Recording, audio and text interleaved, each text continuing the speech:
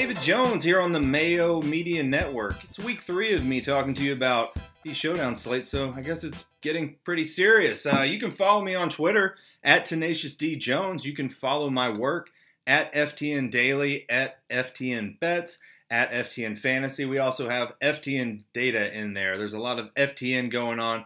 We are taking over. Thanks for coming along with us. You're watching this on YouTube, most likely, or listening to the podcast. Please smash the like button do me a solid, do Pat a solid. No dislikes, please. We do not like the dislikes or the thumbs down, whatever you want to call them. We're talking about Thursday night football on DraftKings. I'm sorry to say it's the Denver Broncos versus the New York Jets, two 0 3 teams. But hey, we have football back. We can't complain too much. I don't want to see any negativity on Twitter uh, because football's here. Even though we have a game, maybe two games, going to be postponed this Sunday, we still have someone throwing a football, and that is fine with me. Let's jump into this slate and figure out where we're going to go. So you have to choose your captain position. Typically, I like that to be a pass catcher on DraftKings because of the one point PPR structure. Up at the top, Melvin Gordon. Denver Broncos top running back. Yes, you probably have Phillip Lindsay coming back, injury prone Phillip Lindsay. Really, uh, really played great for him when they did not have a a starting running back a year and a half ago, but he's going downhill. That's why they brought Melvin Gordon on board to carry the lion share of the targets out of the backfield and on the ground. Last week, Melvin Gordon, he only got eight touches on the ground, but he was targeted six times through the passing game. I think you can see a lot of Melvin Gordon in this game, especially because you have the third string quarterback for the Denver Broncos, Brett Rypien, coming in to rip the ball to the depleted wide receiver corps um, and the depleted team. There's a lot of injuries on both these teams, to be quite frank. I don't typically like to spend up, but Melvin Gordon, $16,500 at captain, does make sense for this particular slate this week because you have so, so, so many cheap options. You can build just about any team you want with any captain you want.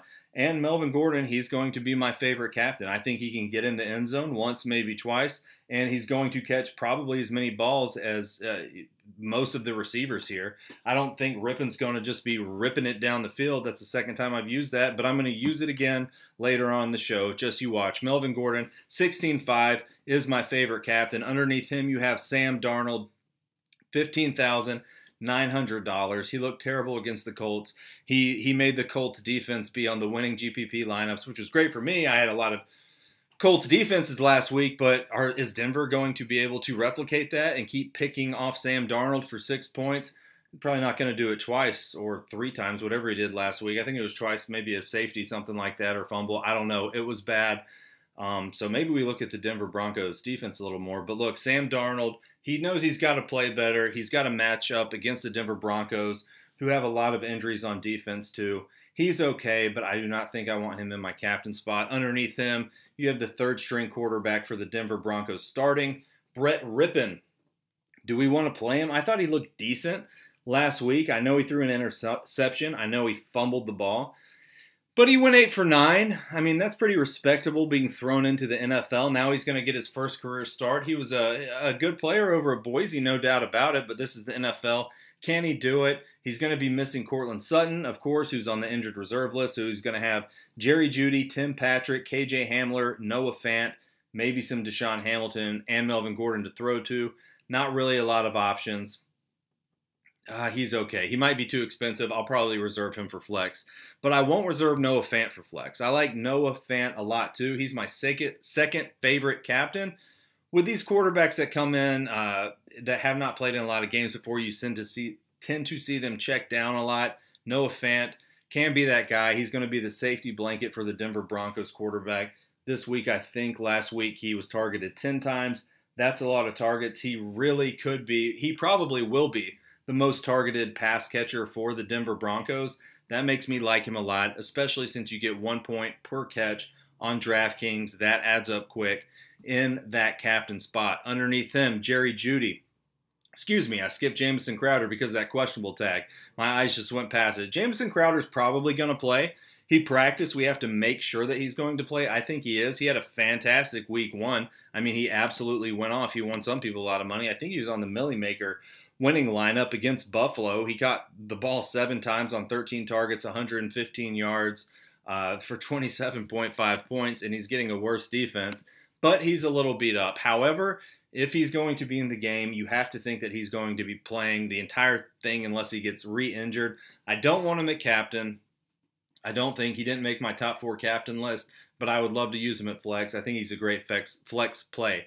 Jerry Jeudy is underneath Crowder. He's going to be the wide receiver one in this offense uh, with Courtland Sutton out, especially. I thought that was a great tandem. It's too bad about Sutton. He caught five of his targets for 55 yards last week. I've said it before. I think Jerry Jeudy's the most talented wide receiver coming out of the draft class, and I think the years that go by will prove that. His route running is just immaculate. He has not gotten in the end zone yet, but he is a candidate to do that coming up this week. So he's got big, big play upside. That's what you want, and he's going to be catching passes. Um, so he is ranked as number three on my uh, on my captain list. I've got Melvin Gordon one, I've got Noah Fant two, and I've got Jerry Jeudy three. Underneath him, Old Man Gore, 37 or 38 years old, and he's still doing it, and he still looks the same. We've all seen the memes. $9,600 at the captain spot. I don't think I want him there. He will catch no passes. However, he will touch the ball 15 plus times. Uh, you've, you've got to try and win this game, and I think Frank Gore is actually going to give you a decent chance to do that. He's not going to sprint for a 60 yard touchdown, but he's going to steadily kill the clock, steadily move the chains, and if they get down in the red zone, he's getting a shot at it. If he gets in the end zone, you're looking great. I don't think he gets in there twice. Maybe he gets in there once. I like Frank Gore a lot at the flex position. Phillip Lindsay below him, questionable 9,300 in the captain spot. Not going to do it. I, he's still a little beat up, in my opinion. He doesn't play great when he's a little beat up. No one plays great when they're a little beat up, but he might be forcing it into this game. And I don't see why you would go away from Melvin Gordon, quite frankly. He's healthy. He's the better back. He catches the passes, he runs the ball much better than Phillip Lindsay. I think Phillip Lindsay's uh, ownership's going to be down because he's got that questionable tag, but it's not something I am too interested in, especially not on a main lineup. Now we're starting to get down to some cheap guys. I mean, Kalen Ballage is the next guy on the list who's actually going to see playing time out of the backfield as more of a pass catcher.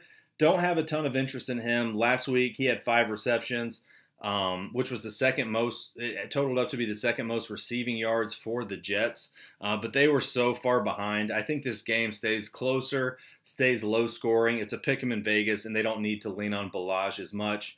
Um, he might catch three or four, and if he breaks a big play, then it's going to be a good play. Not one of my favorites. If I make 10 lineups, I'll throw him in like two. Broncos defense is underneath him at 8 4 in the captain position.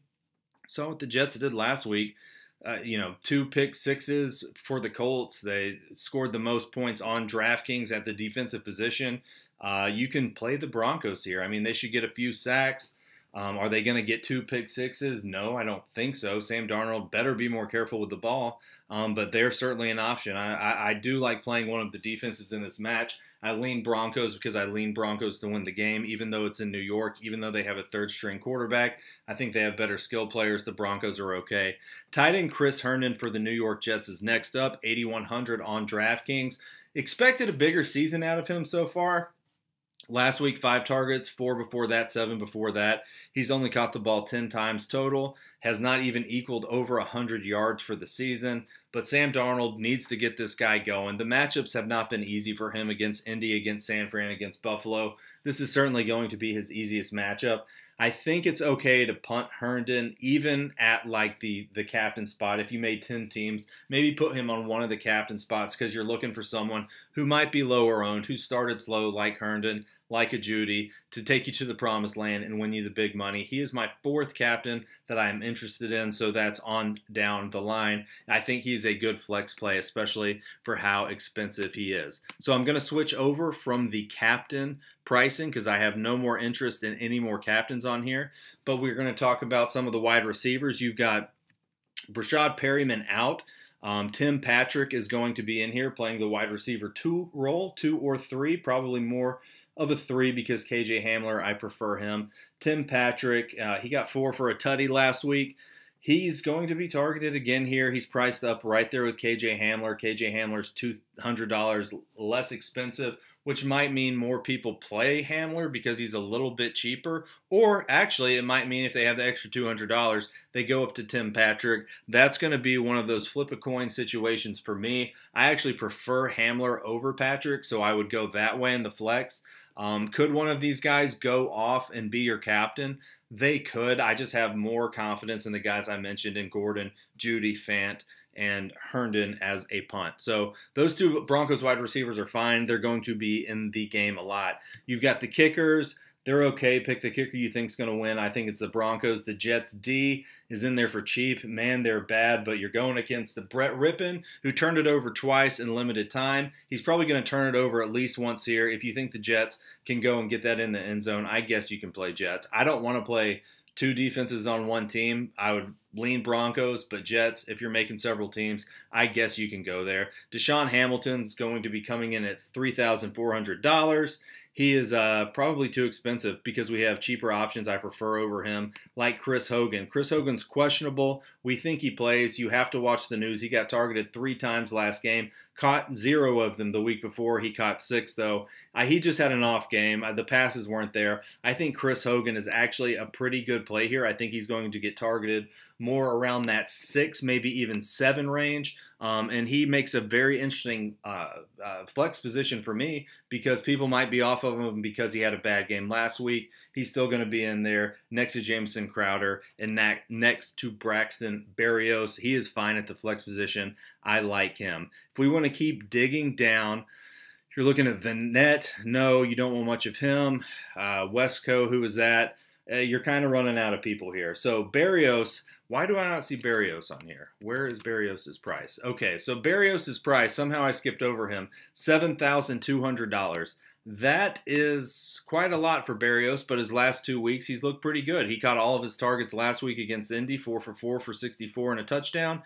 And then you have San Francisco the week before that, six receptions with on eight targets for 17 points and uh, 17.9 points and a touchdown. So that's why his price is so high. So is he going to be targeted? Probably the same amount. Yes. Uh, do the Jets need to throw the ball to someone who's going to catch it, not named Frank Gore or Kalen Ballage? Yes. So Berrios is a pretty good play. Crowder wasn't in last week or the week before that, which might have contributed, which definitely did contribute to Berrios getting targeted more. So his price is a little high, but still, you have so much value on this slate. You can go to him if you want. I'm looking over my notes. Did I miss anyone? Not really. We're going to recap it. I think the Broncos win in this pick'em game. I like Melvin Gordon number one at the captain spot. Jerry Jeudy, two. Fant three. We need a big game from one of those two Broncos. Uh, and look, I'm excited that we have some football. It's not the teams we wanted, but here we are. We're going to watch it and we're going to cheer for it. And hopefully we get more than 10 points on each sides and not a tie. Thanks for watching, guys. Follow me at Tenacious D Jones on Twitter. Remember to smash the like button. Come over to FTN Daily, FTN Bets, FTN Fantasy, all the FTN stuff. You can press one button and buy all the packages if you want to. We're absolutely crushing it. I'm very impressed with some of the talent over there. Go take a look at the profiles, see the guys over there. Uh, we've got Brad, Brad Evans, Elliot Chris, Magic Sports Guy, Kevin Adams, Jeff Ratcliffe, Noah. The list goes on and on and on. Oh, and some guy named Pat Mayo. Thanks for watching, guys. Good luck. I'll see you next week.